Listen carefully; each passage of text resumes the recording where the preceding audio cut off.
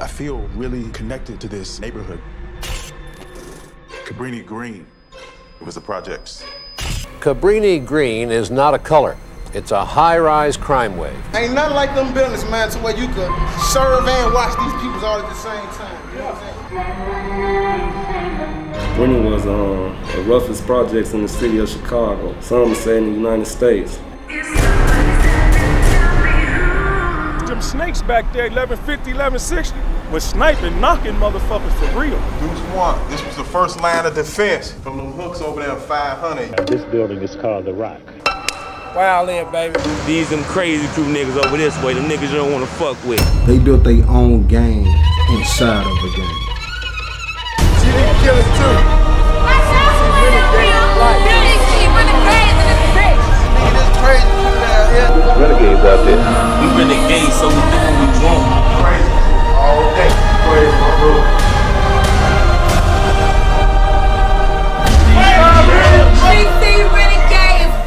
Was no structure no more. This